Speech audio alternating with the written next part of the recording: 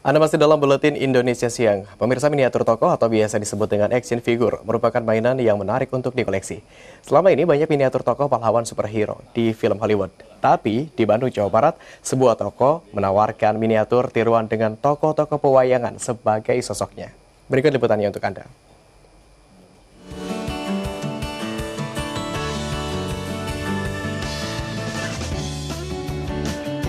Di antara deretan toko-toko hobi di Baltos, Bandung, Jawa Barat, sebuah toko menawarkan barang berbeda. Adalah Insan Perdana Putra, atau yang lebih akrab dipanggil Ican, bersama dua orang rekannya yang telaten membuat miniatur tokoh wayang ini. Dimulai dari desain menggunakan tangan dengan ketelitian bentuk baju zirah para tokoh pewayangan yang ada dalam legenda Indonesia, mereka mencoba menawarkan mainan yang berbeda.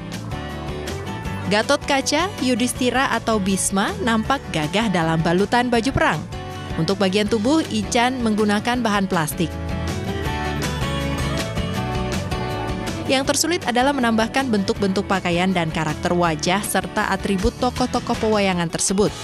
Awalnya, Ican membuat figur-figur ini untuk koleksi pribadinya, karena memang Ican menggemari wayang sejak kecil awalnya dibikin itu untuk koleksi sendiri, koleksi pribadi. Kemudian saya coba posting di sosmed-sosmed kayak Instagram atau Facebook. Setelah itu mungkin responnya dari customer ternyata banyak dan akhirnya banyak pemesanan juga gitu lah dari awal keisengan itu.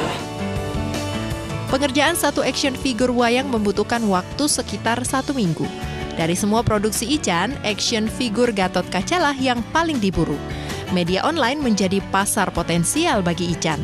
Untuk pasar di dalam negeri, Ican mematok harga antara 300 hingga 500 ribu rupiah per unitnya, tergantung tingkat kesulitannya. Harga di luar negeri cukup fantastis, bisa mencapai 3 hingga 4 kali lipat dari harga di dalam negeri. Mujib Prayitno, MNC Media, Bandung, Jawa Barat.